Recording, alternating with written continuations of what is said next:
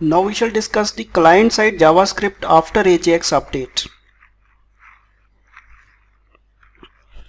In our last lecture we have seen how the database is being updated but the form is not being dismissed nor is the table being is being updated. Right now what we shall do is we shall uh, see how to dismiss the form. This is where we are at, at present this is the table that is visible below. Having records. And this is the form that is displayed here. And here is an OK button for the save. We have seen when the user clicks this OK button the database is updated. But this form is not going nor is the table being updated Ideally what should happen is that the values that were chosen by the user should actually be reflected here also. What we have to do is we have to since uh, uh, I'll come back to the code and show you where the things need to be done. This is the template we have written and in our previous example this is the function we have added now the AJAX data has been posted to that function and that function is returning a JSON like OK or something else for error in case error occurs. Where is this JSON going? Who is receiving it? This JSON will ultimately be received by AJAX option on success. On success param uh, on success property of AJAX options. It will receive the JSON the JSON coming from the server. And where how will we capture that JSON? For this we have to specify the name of a function. Let us say we can call that function as update table and pass that data coming as parameter to this.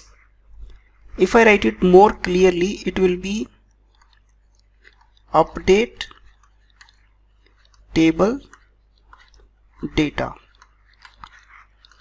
This data will be the data that is coming from the server that is OK or error occurred.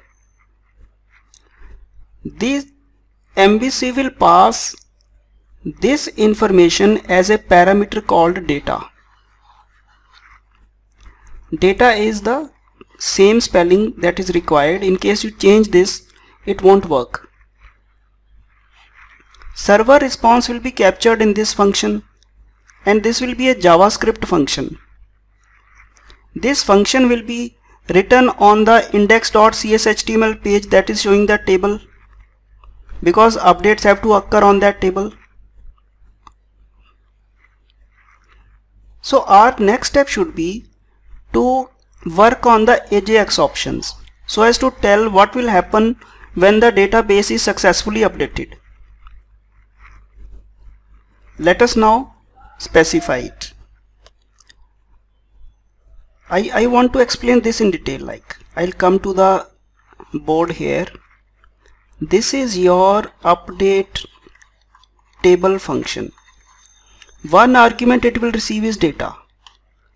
It, uh, suppose this is a uh, schematic of that update table function on the this is javascript function that will be called.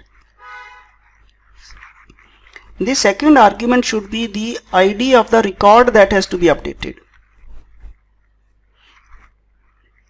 The record of the table that is being updated. So that we can use this id update the data in that record or the row of the table on the HTML page that is being displayed through index.cshtml. This ID will be used inside the JavaScript function here to update these values. So we'll need ID also and we'll need data also. This data will be either okay or will be something called error. Then we can put a cross check here that if data is coming okay we'll write the code for dismissing the dialog. If it is not coming okay we'll simply tell the user that update failed so therefore we should now make preparations for passing this ID and data into our on success function. Coming back here now. We can now start writing.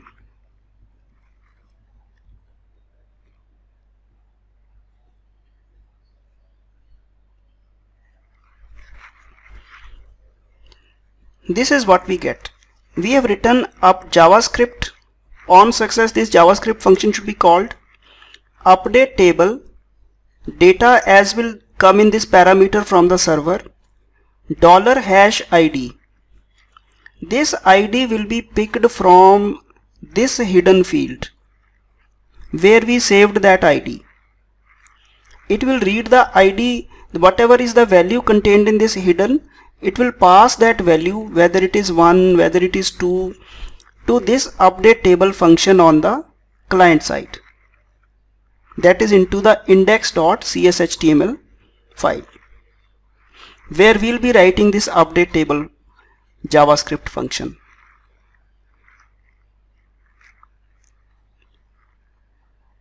This editor template when it is displayed in the modal dialog it will contain all this information. That when this OK is clicked things will go to the server. When they come back what it has to do that is it has to call the update table function. This javascript function should be present on the page on which this this dialog is being shown. The page is index.cshtml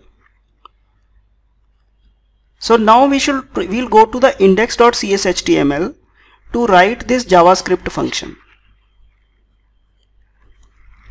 We can click here and find a space towards the end. We already have one show dialog there and we can start to add this here. So here we begin writing. Function is update table. It receives data and ID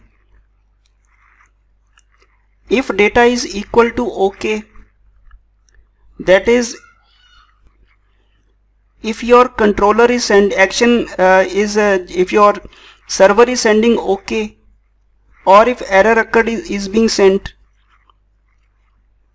So here we are writing if data is OK else to do what?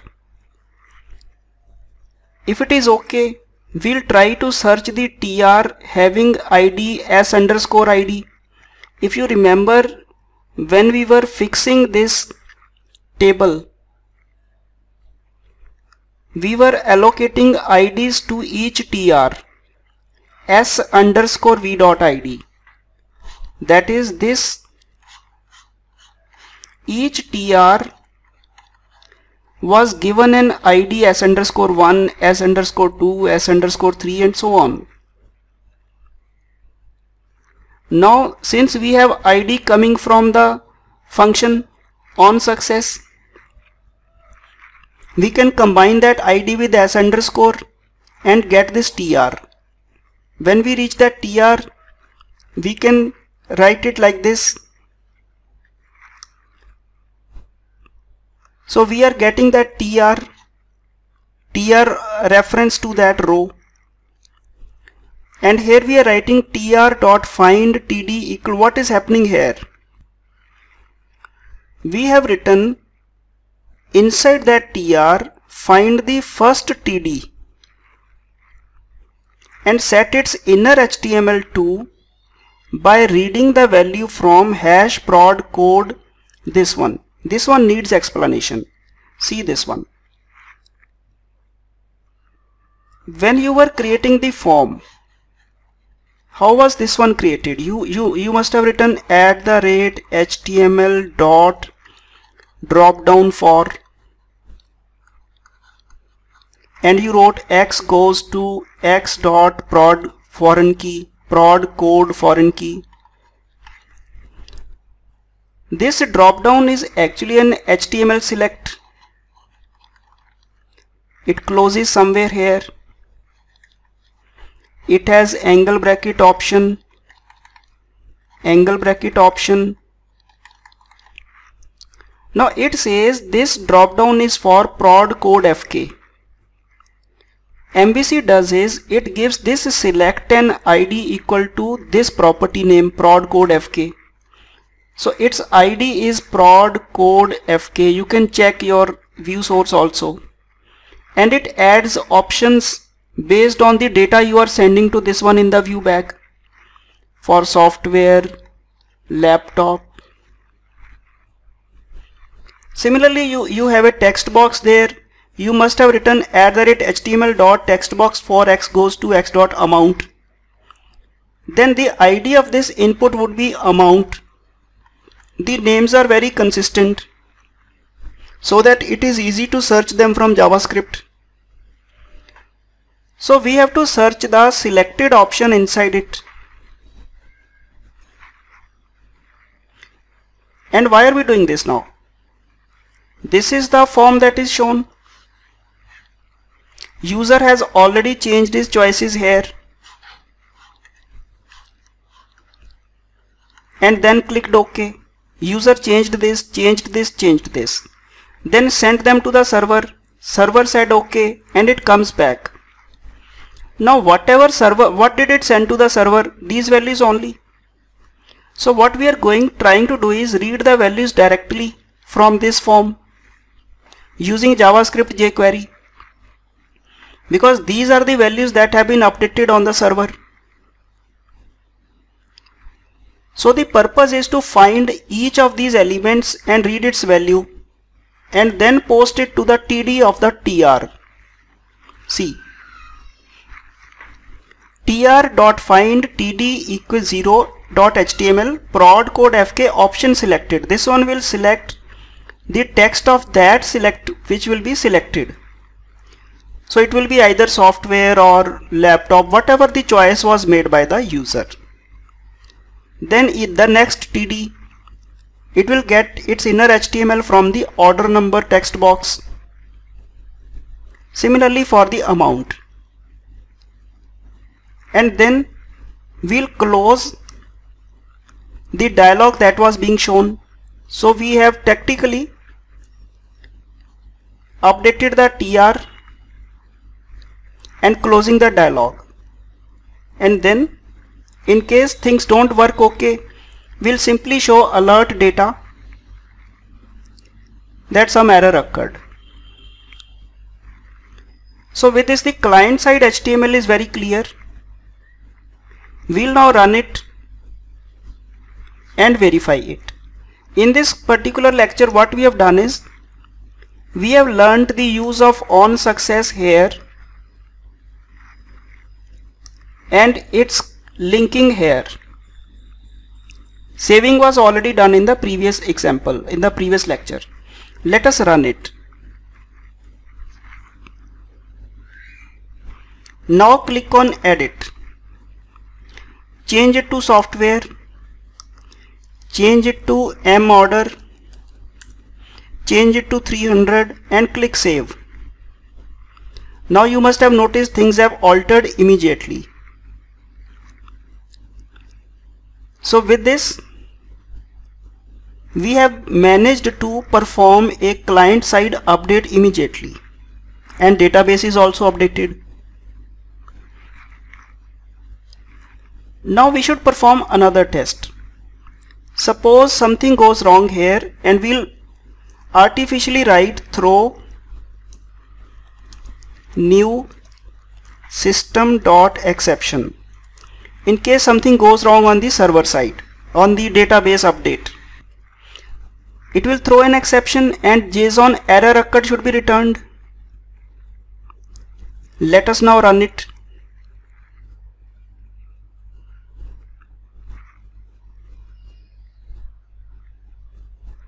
Click on edit. Make any changes this time change it to mobile and click on save error occurred error occurred this dialog doesn't go away